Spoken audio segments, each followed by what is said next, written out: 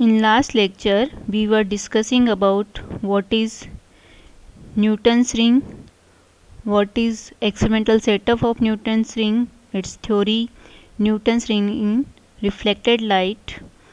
In this lecture, we will focus on the diameter of dark and bright fringes, what is fringe width and Newton's ring in transmitted light. तो हमने ये देखा था Newton rings क्या होती है, इसका एक्सपेरिमेंटल सेटअप क्या है, इसकी थ्योरी क्या थी, जिसमें हमने पढ़ा था कि रिफ्लेक्टेड लाइट में न्यूटन रिंग्स का फॉर्मेशन किस प्रकार होता है। Now, diameter of dark and bright fringes. तो इसके अंदर जो आपका पोर्शन है दिस वन इसको क्या कहते हैं हम, ये जो है वो इस कॉन्वेक्स लेंस का वर्टिकल पोर्शन है।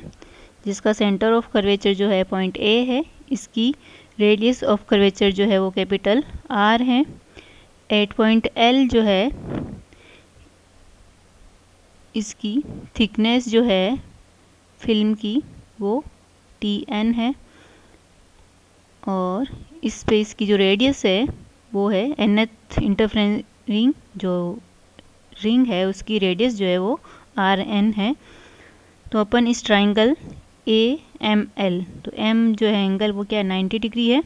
तो इसके अंदर हम यदि पाइथागोरस थ्योरम से देखें, हमें क्या निकालना है कि जो एनथ फ्रिंज बन रही है एनथ रिंग बन रही है न्यूटन्स रिंग उसका हमें डायमीटर निकालना है। आर एन की वैल्यू फाइंड आउट करनी है। तो इस ट्राइंगल में ट्राइंगल ए एम एल तो ट्राइंगल ए एम एल में यदि हम देखें इन triangle sorry A, L, M में जो है पाइथागोरस थ्योरम लगाएँ। तो क्या आ रहा है आपका? M L square, M L square is equal to A L का square minus A M square. और जो आपका एम एल स्क्वायर है, उसको हमने क्या मान लिया? एनथ जो रिंग है उसकी जो है रेडियस है आर एन तो आर एन स्क्वायर और ए एम की वैल्यू हम क्या लिख सकते हैं? ए ओ माइनस एम ओ तो ये एम ओ माइनस कर देंगे तो आपके पास क्या इक्वेशन हो जाएगी? R N square is equal to A L square आपका क्या है? कैपिटल आर तो R square minus A M A M क्या है? आर माइनस टी एन ये जो ए एम है, वो आपका आर माइनस टी एन है। तो ये आपका आर माइनस टी एन का होल स्क्वायर हो गया। तो इसको ओपन करोगे तो क्या हो जाएगा? ए माइनस बी का होल स्क्वायर तो R square minus R square plus T N square minus two R T N तो माइनस माइनस प्लस तो two R T N R square से आर स्क्वायर कैंसिल हो जाएगा और minus का क्या बचेगा? टी एन स्क्वायर तो R N square is equal to two R T N minus T N square फिर हम देखते हैं कि जो रेडियस ऑफ़ कर्वेचर है प्लेनो कॉन्वेक्स लेंस की वो अपन लार्ज लेते हैं, क्योंकि हमें वेड्स एंगल जो लेते हैं हम स्मॉल लेते हैं, ये जो ठीठा एंगल है यहाँ पे, इसको हमें स्मॉल लेना है तो इसके लिए हम प्लेनो कॉन्वेक्स लेंस लेते हैं वो लार्ज रेडियस ऑफ़ कर्वेचर का लेते हैं। तो इसके कंपेरिजन में जो थिकनेस होगी इस एयर फ़िल्म की, वो बहुत ही ज़्यादा कम होगी, इस कंपेरिजन टू कैपिटल आर तो यहाँ पे क्या कर सकते हैं हम? टी एन स्क्वायर को इस टर्म के रेस्पेक्ट में क्या कर सकते हैं? नेगलेक्ट कर सकते हैं। तो आपकी इक्वेशन क्या हो जाएगी? R N square is equal to two R T N अब हमें क्या निकालना है? डायमीटर निकालना है। तो डायमीटर क्या हो जाएगा? टू टाइम्स ऑफ़ रेडियस तो ये क्या आ जाएगा आपका? D N is equal to two R N then two R N क्या हो जाएगा? R N square is equal to two R T N था। तो ये हो गया two root of two R T N या फिर diameter D N is equal to रखें। टू को अंदर मल्टीप्लाई करोगे स्क्वायर रूट के तो फोर आ जाएगा फोर टू जा टू हो जाएगा तो क्या आ जाएगा? D N is equal to root of eight R T N ये हमने मान ली इक्वेशन नंबर क्या है? थ्री है। तो डायमीटर ऑफ़ डार्क रिंग्स तो डार्क रिंग्स के लिए हमें डायमीटर निकालना है। तो हमें पता है कि जो रिफ्लेक्टेड लाइट थी, उसमें हमने कंडीशन निकाली थी फॉर डार्क रिंग्स क्या थी? पार डिफरेंस निकाला था और इसमें हमने कंस्ट्रक्टिव और डिस्ट्रक्टिव इंटरफ्रेंस की कंडीशन डाली थी और उससे हमने देखा था, जब डिस्ट्रक्टिव इंटरफ्रेंस होता है तो पार डिफरेंस जो होता है वो होता है टू म्यू एनथ फ्रेंस के लिए देख रहे हैं।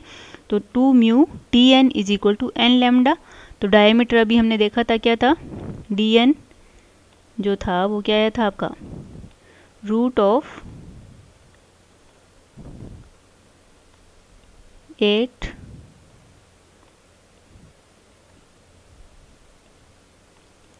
R T N अब टी एन की वैल्यू यहाँ से निकालोगे तो क्या आएगा? N lambda upon two mu तो आपकी डी की जो है वैल्यू क्या हो जाएगी? Root of eight capital R और टी एन जो है इसकी जगह क्या रखोगे? N lambda. ये एन है आपका। ये आपका लेमडा है। N lambda upon two mu. Two mu. तो यहाँ पे देख रहे हो आप, टू से एट कैंसिल हो जाएगा, फोर और फोर जो होगा स्क्वायर रूट पे बाहर आएगा तो क्या हो जाएगा? टू। और अंदर क्या बचेगा? N lambda R upon mu तो ये जो है आपकी एनथ जो डार्क रिंग्स होगी, उसका डायमीटर हो जाएगा D N is equal to two root of N lambda R upon mu similarly for bright ring के लिए क्या कंडीशन थी? Two mu T N nth ring के लिए देखें is equal to N minus half lambda तो यही value इसके अंदर पुट करेंगे root of eight R T N तो ये आपका टी एन है। तो यहाँ पे वैल्यू पुट करोगे टी एन की जगह तो क्या आ जाएगा वहाँ पे? N minus half lambda upon two mu वापस वही कैंसिल हो जाएगा और टू बाहर आ जाएगा। तो क्या आ गई आपके पास? डी एन की value D N is equal to two root of N की जगह क्या आ जाएगा? N minus half lambda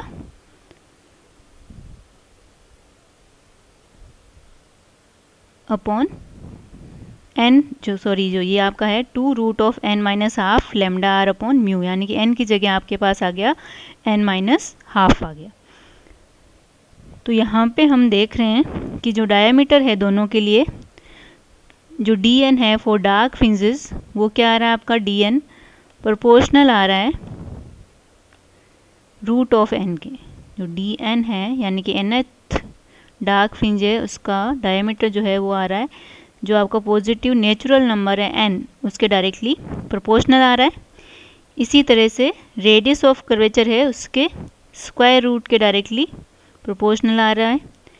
and जो रिफ्रैक्टिव इंडेक्स है, उसके स्क्वायर रूट के इन्वर्सली प्रोपोर्शनल है, यानी कि one upon root of mu तो ये आपका डी एन हो गया फोर डार्क फ्रिंजेस यहाँ पे डी भी लिख सकते हो आप for dark fringes similarly for bright fringes के देख रहे हो तो डी एन जो है इस बार, बाकी सब तो सेम ही है, कि जो रेडियस ऑफ़ करेचर है उसके रूट ऑफ़ आर के डायरेक्टली प्रोपोर्शनल है रूट ऑफ़ म्यू के क्या है इन्वर्सली प्रोपोर्शनल है लेमडा के रूट पे क्या है डायरेक्टली प्रोपोर्शनल है। यहाँ पे जो इंटीजर नंबर है, वो क्या आ जाएगा आपका, कि square root of odd positive integer number हो जाएगा। टू कॉमन लोगे यहाँ पे तो टू एन माइनस वन तो जो डार्क फिंजेस का डायमीटर है, वो तो डायरेक्ट नेचुरल नंबर है उसके। स्क्वायर रूट के डायरेक्टली प्रोपोर्शनल है, और जो ब्राइट रिंग्स है, उनके लिए जो डायमीटर है, वो पॉजिटिव ऑड इंटीजर के क्या है? डायरेक्टली प्रोपोर्शनल है। बाकी सिमिलर रिलेशन है कि ये भी रूट ऑफ़ आर के डायरेक्टली प्रोपोर्शनल है रूट ऑफ़ लेमडा के भी डायरेक्टली प्रोपोर्शनल है और रूट ऑफ़ म्यू जो reflective index of thin film है, उसके इन्वर्सली प्रोपोर्शनल है। और ये ऑड इंटीजर के तो यानी कि डायमीटर कैसा होगा इसका? Root of three root of five root of seven और इसमें कैसा होगा? Root of one root of two root of three इस तरह से होगा। ठीक है? अब हम देखते हैं फ्रिंज विर्थ तो फ्रिंज विर्थ का हमें पता है कि the difference in the radii of two successive bright और dark fringes is called fringe width तो ये जो ब्राइट है दो या कॉन्जिकेटिव दो डार्क फ्रिंजेस है, उनके बीच का जो डिफरेंस होगा वो क्या कहलाएगी फ्रिंज विर्थ कहलाएगी. तो जैसे हम फ्रिंज विर्थ देखें डिफाइन करें तो beta is equal to R N plus one minus R N या फिर इसको डायमीटर के फॉर्म में लिखें तो half of D N plus one minus D N तो फ़र्स्ट देखते हैं for dark fringes beta is equal to half two ये अभी अपने ने देखा था, क्या होता है? Diameter of dark fringes for in the reflected light तो root of N lambda R upon mu और मल्टीप्लाई बाई टू तो एन प्लस वन के लिए इंटीजर क्या आ जाएगा? एन प्लस वन और एनथ वाली के लिए क्या जाएगा? Root of N lambda R upon mu तो टू से कॉमन ले लेंगे टू तो टू से टू कैंसिल हो जाएगा। तो आपके पास क्या बचेगा? और root of lambda R upon mu common ले लें। रूट ऑफ़ यहाँ पे एन नहीं आएगा सॉरी ये एन नहीं है। तो क्या आ जाएगा? Beta is equal to root of N plus one minus root of N root of lambda R upon mu तो यहाँ पे जो देख रहे हैं हम the fringe width for dark fringes decreases as N increases and dark fringes come closer तो यहाँ पे क्या आएगा? जैसे root of two minus root of one root of three minus root of two तो ये क्या है? डिक्रीज होता जाएगा, जैसे जैसे एन की वैल्यू इंक्रीज होगी। सिमिलरली हम देखें फॉर ब्राइट फ्रिंजेस तो ब्राइट फ्रिंजेस के लिए डायमीटर जो होता है, वो क्या होता है? ऑड इंटीजर होता है। रूट ऑफ़ ऑड इंटीजर के डायरेक्टली प्रोपोर्शनल होता है तो वही वापस से रखोगे आप root of N lambda R upon mu common आ जाएगा, और टू भी कॉमन आएगा तो टू से टू कैंसिल हो जाएगा half of two multiply by this one and two multiply by this one तो आपकी डार्क फ्रिंजेस का जो फॉर्मूला आएगा, वो कुछ इस तरह से आएगा फॉर फ्रिंज विर्थ तो यहाँ पे भी हम देख रहे हैं कि ब्राइट फ्रिंजेस जो है, उनकी जो फ्रिंज विर्थ है, वो भी क्या हो रही है? डिक्रीज हो रही है, जैसे जैसे आपका एन इंक्रीज हो रहा है। तो यहाँ पे ऐसे आ जाएगा, जैसे root of seven minus root of five इस तरह से। तो यहाँ पे हमने देखा कि Newton's rings are not equally spaced because the diameter of ring does not increase in the same proportion is the order of ring, and rings get closer and closer as an increase. Now, Newton's rings in transmitted light. यहाँ पे हमने जैसे एक light ली है, जो कि normally incidence हो रही है प्लेनो कॉन्वेक्स लेंस पे, ये इंसिडेंट होके, यहाँ पे क्या हो रहा है इसका? पार्शियल रिफ्रैक्शन हो रहा है। फिर वापस से ये डेंसर मीडियम पे इंसिडेंट हो रही है तो यहाँ से इसका क्या होगा फिर से? पार्शियल रिफ्रैक्शन और पार्शियल रिफ्लेक्शन होगा। फिर वापस से यहाँ पे इसका क्या हो रहा है? पार्शियल रिफ्लेक्शन हो रहा है। तो इस तरह से हम देख रहे हैं कि हमें दो जो है रिफ्लेक्टेड लाइट मिल रही है। तो ये क्या होगी आपकी एक तरह से? रिफ्लेक्टेड को या ट्रांसमिटेड को?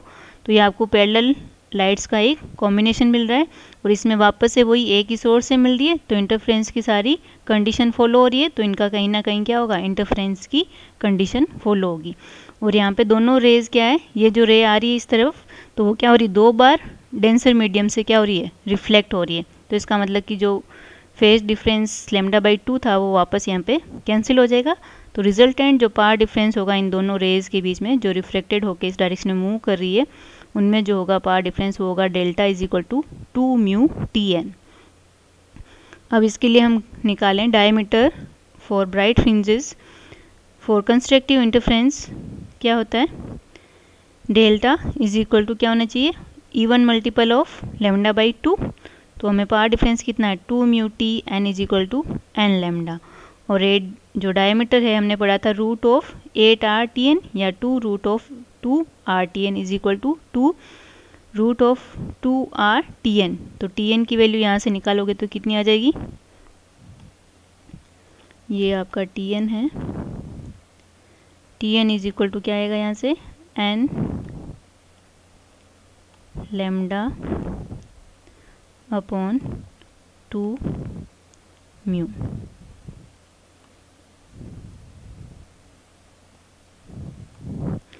N lambda upon two mu, two से टू कैंसिल हो गया तो आपके पास क्या आ जाएगा? Two root of N lambda R upon mu. तो यहाँ पे भी क्या है? इंटीजर नंबर एन के डायरेक्टली प्रोपोर्शनल है, लेमडा के भी रूट ऑफ़ लेमडा के जो है, वो भी डायरेक्टली प्रोपोर्शनल है डायमीटर ऑफ़ ब्राइट फ्रिंजेस और रूट ऑफ़ क्या है रेडियस ऑफ़ कर्वेचर आर के डायरेक्टली प्रोपोर्शनल है और रिफ्रेक्टिव इंडेक्स जो है, उसके स्क्वायर रूट के इनवर्सली प्रोपोर्शनल है आपका diameter similarly for diameter of dark rings तो फॉर कंस्ट्रक्टिव इंटरफेरेंस के लिए हम क्या देखते हैं कि जो पार डिफरेंस है, वो odd multiple of lambda by two हो. तो two mu T N is equal to क्या आ जाएगा आपका? N minus half lambda. हमें डायमीटर पता है क्या होता है? Two root of two R T N. T N की वैल्यू यहाँ से पुट करोगे तो आपके पास इक्वेशन क्या बन जाएगी? Two root of two R N minus half lambda upon two mu. और इसको और सोल्व करेंगे तो टू से टू कैंसिल हो जाएगा। और क्या आ जाएगा आपका? Two root of N minus half lambda R upon mu. तो ये ट्रांसमिटेड लाइट है, उसमें जो डार्क फ्रिंज बन रही है, उसका जो है वो डायमीटर होगा। तो हमने यहाँ पे देखा कि the condition for maxima in the reflected light are just reverse to those in transmitted light is the ring which appear bright in the reflected light will appear dark in transmitted light and vice versa thus the fringe system in the reflected light as well as in transmitted light are complementary to each other